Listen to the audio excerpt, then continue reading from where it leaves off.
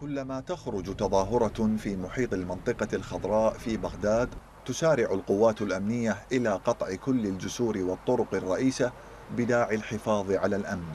والنتيجة زحامات مرورية خانقة وتعطيل للحياة العامة وحرمان شريحة واسعة من الوصول إلى أعمالهم بمن فيهم طلبة المدارس والحالات الصحية الطارئة.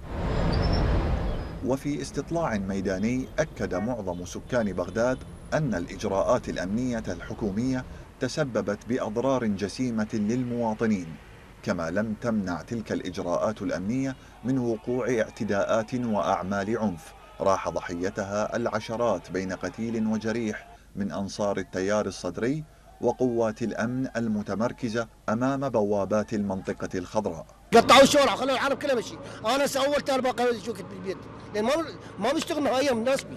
ما بيشتغلين شنو ذنبنا؟ خلونا بس نفتر اليوم. اليوم اليوم جينا من البياع آني ساعتين وشوية. والله هم وصلنا المكان للجسر مال الشهداء وهم وقتين انقطع وهم ماتين مشي يعني فوق التعب مال الطريق وفوق الازدحامات نرجع نعبر هماتين مشي من شغلنا من البيت للشغل. تأذينا كلش يعني من خاصة اليوم وباكر يمكن أقوى والسبت احتمال ماكو ماكو طريق. قطع الجسور والطرق الرئيسة أمام حركة السكان لم يمنع صواريخ الكاتيوشا من الانهيال على المنطقة الخضراء تزامنا مع انعقاد جلسة برلمانية طارئة لاستكمال تقسيم المناصب والمغانم بين شركاء العملية السياسية ليتساءل المواطنون عن جدوى قطوعات الطرق. يعني من المفترض كان يكون ينقطع جسر الجمهورية أوكي.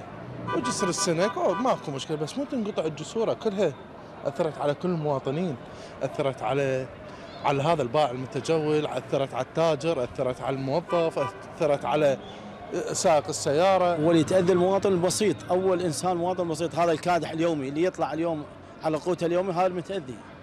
ما راح يوصل وحتى لو يوصل لا ماكو حركة، حركة انشلت. إجراءات أمنية عشوائية وغير فعالة، تلك التي تنفذها قوات الأمن مع كل حدث أمني أو سياسي أو شعبي في بغداد، ليبقى المواطنون المتضرر الأكبر من تلك الفوضى الإدارية.